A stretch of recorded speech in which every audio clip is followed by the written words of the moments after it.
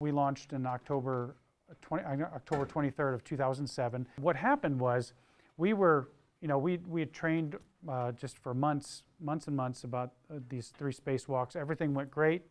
Um, we disconnected that big tower. The arm came and grabbed it. The robotic arm moved it way out to the end of the wing, the port wing of the, uh, of the space station. Uh, we crawled out there, we bolted it down, we put grounding straps on, everything was going great. And um, then while uh, Scott Parazynski, my spacewalking partner, and I were making our way back to the airlock, they started, Houston and our, our crew that was inside the space station started deploying that solar array. First one went out, they waited for that one that we were poking with a stick back months earlier. They were gonna wait for that one last, so they put out one array, it got fully deployed. They charged it up, providing full power to the, to the space station. And then they started deploying the other array. And, and there's, there's a couple of things that you don't like hearing in space is, oops, that's not a good thing to hear while you're in space. that's not a good thing. And uh, sorry guys, my bad. That's not a good thing either.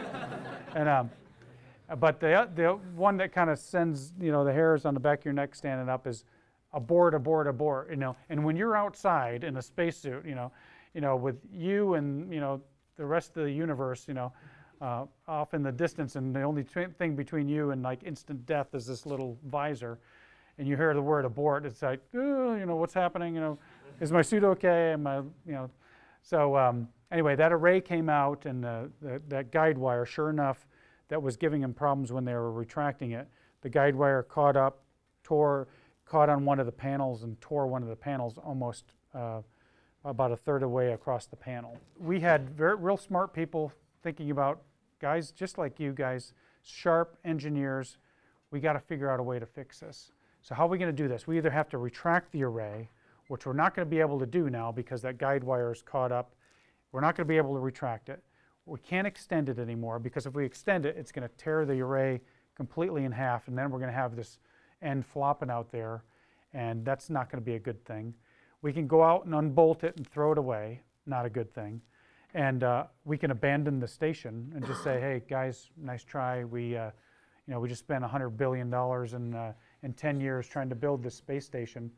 And, um, and sorry, we couldn't get it right. So I thought, hmm, what if we took a piece of wire, and crazy young engineers in Houston thought of this, and on the end of it, we'll put a little swivel with like just a little piece of aluminum and uh, we'll tape it uh, with a, some electrical, let's say Kapton tape to keep it from, uh, from uh, you know, arcing to the, to the array.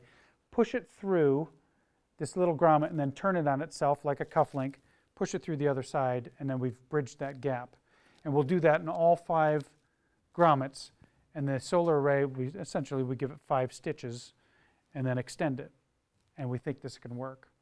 We thought, I said to Scott, I said, I told you, man. I told you.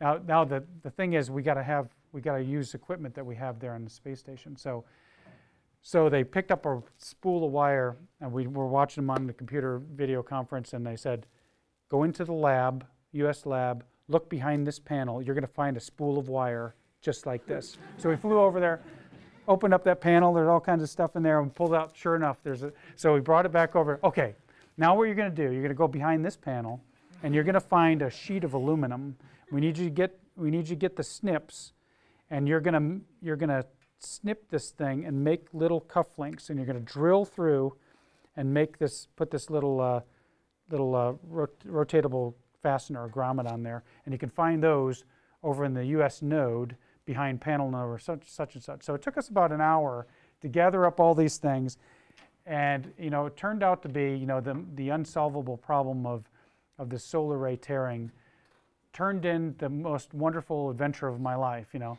and the pinnacle of my career as, a, as, an, as an engineer.